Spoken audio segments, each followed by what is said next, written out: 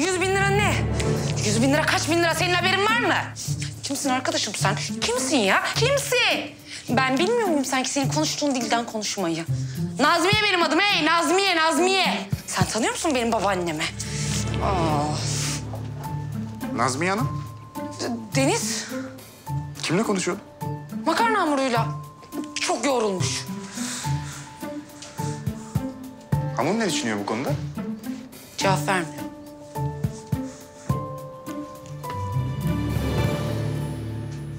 İyi misin? Kim söyledi? Fatoş tabii ki. Bundan sonra okunmadan hiçbir şey imzalama. Öyle ne olacak ya falan demem yani. Büyük tecrübe oldu.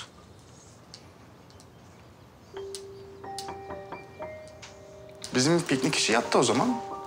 Deniz çok affedersin ya. Çıktı benim aklımdan o.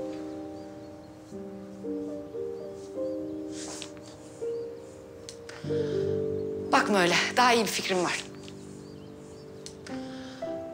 İstanbul'da daha iyisi yok. Temiz hava, bol gıda, mis gibi boğaz manzarası. Okumadan sözleşme imzalamanın güzel tarafları da varmış. Ee bundan sonra ne olacak? Kağıt üzerinde bir ay daha buradayım. Ama ben o arada kovulurum diye planlıyorum. Kaçırayım seni. Nereye? Kimsenin bizi bulamayacağı herhangi bir yere. Ya da kötü kralın bizi bulamayacağı her yere. Yani deniz kıyısında bir kulübe mesela. Kötü kral kim diye sormuyorum. Yani bu örnekte ne yazık ki Bildiği bu. Öyle öğrenmiş. Öyle yetişmiş. Kuralların dışına çıkarsa hayatını nasıl devam ettirecek bilmiyor. Kurallar onun güvenli alanı. yine bu kurallar sana zarar veriyor Nazlı. Farkındasın değil mi bunun? Deniz farkında olmamak mümkün mü? Ama işin içine anlamak girince Tazminatı ben ödeyeyim. ne?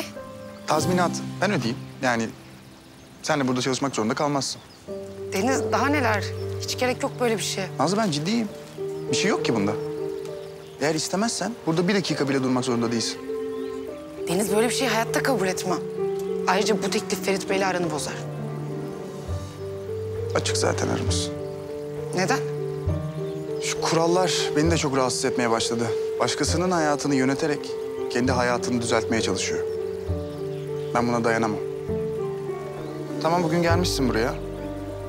Ama yarın buraya gelmek zorunda değilsin. Eğer istemiyorsan hiçbir şeyi zorla yapmak zorunda da değilsin.